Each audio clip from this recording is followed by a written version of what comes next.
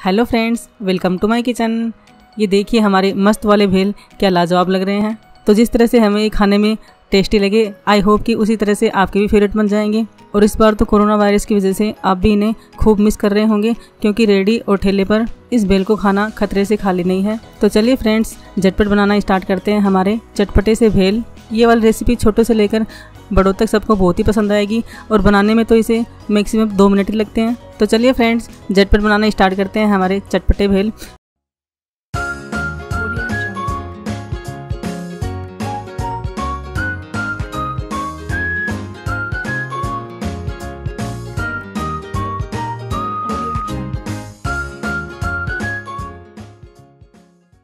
तो देखिए, हमने हाई फ्लेम पर इस कढ़ाई को गर्म कर लिया। इसके अंदर हमने दो चम्मच भर के तिल का तेल डाल लिया।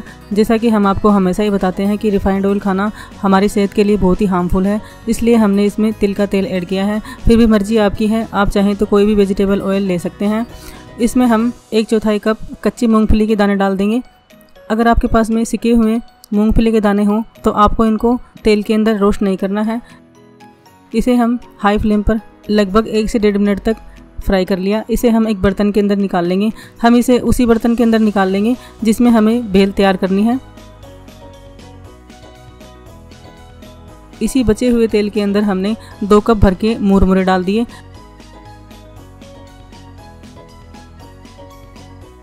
इन मुरमुरों को हमने हाई फ्लेम पर लगातार चलाते हुए तीन से चार मिनट तक फ्राई कर लिया।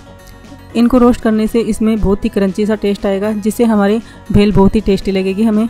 फ्राई किए हुए मुरमुरों को भी हम उसी बर्तन के अंदर निकाल लेते हैं, जिसमें हमने मूंगफली डाली है। आपको ध्यान रखना है कि आपको बड़ा सा बर्तन ही लेना है, ताकि आपको सभी चीज़ों को मिलाने के अंदर परेशानी नहीं हो। ये देखिए, हमारे मूंगफली के दाने और मुरमुरे ठंडे हो चुके हैं। अब हम इसमें बाकी की चीज़ें भी ऐड कर देते हैं। ये हमने बारीक टुकड़ों में कटी हुई एक हरी मिर्च ली है।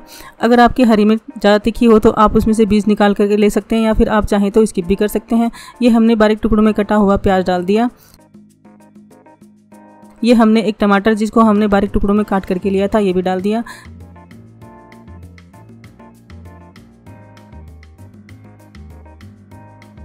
ये थोड़ा सा हरा धनिया है जिसको हमने अच्छी तरीके से धोकर और काट करके पहले ही रेडी कर लिया था, इसे भी हम डाल देंगे। ये हमने एक चम्मच भर के रोक सोल्ट यानी कि काला नमक डाल दिया। आप चाहें तो सादा नमक भी डाल सकते हैं। फ्रेंड्स, यहाँ पर हम आपको एक सजेशन देना चाहेंगे कि अगर आप वाइट नमक खाते हैं तो उसे खाना बिल्कुल ही छोड़ दीजिए, क्योंकि वो रिफाइंड नमक आता है और उसके अंदर कोई भी मिनरल्स नहीं आता है। इसलिए आपको सफ़ेद नमक की बजाय काला नमक ही खाना चाहिए, जो हम भी आजकल काला नमक ही खाने लग गए हैं। ये हमने एक चम्मच भर के चाट मसाला डाल दिया, एक चम्मच से थोड़ा सा कम गरम मसाला डाल दिया। मसालों की क्वांटिटी आप अपनी पसंद के अकॉर्डिंग कम ज़्यादा कर सकते हैं, या फिर आप इनको अपनी पसंद के अकॉर्डिंग कोई मसाला डाल सकते हैं, या फिर कोई मसाला स्किप कर सकते हैं।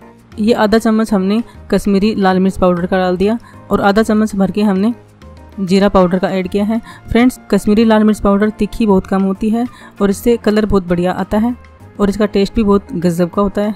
एक बार हम चम्मच से इन सभी चीज़ों को अच्छी तरीके से मिला लेते हैं।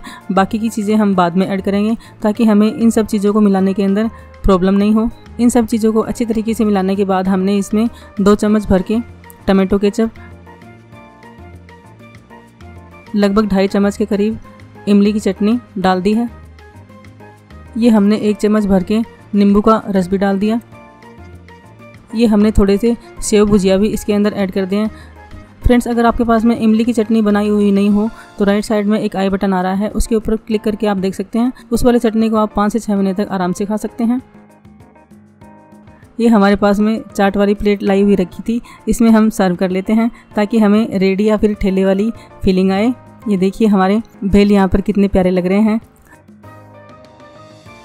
तो फ्रेंड्स हमारे इस तीखे चटपटे मज़ेदार से बेल को देखकर आ गया होगा ना डेफिनेटली मुँह में पानी। आप भी बनाइए, खाइए और इन्जॉय कीजिए। और अगर आपको हमारा ये वाला वीडियो पसंद आया हो तो प्लीज़ इसे लाइक कीजिए, हमारे चैनल को सब्सक्राइब कीजिए और अपने फ्रेंड्स और फैमिली में शेयर कीजिएगा। और हमें कमेंट सेक्शन में लिखिएगा कि आपके भेल जब आपने इस तरीके से बनाए तो कैसे बने। तो मिलते हैं फ्रेंड्स एक नई रेसिपी के साथ में। थैंक्स फॉर वॉचिंग स्वस्थ रहिए और मस्त रहिए। और इसी तरह से आप अपना प्यार और सहयोग हमें देते रहिएगा। Thanks for watching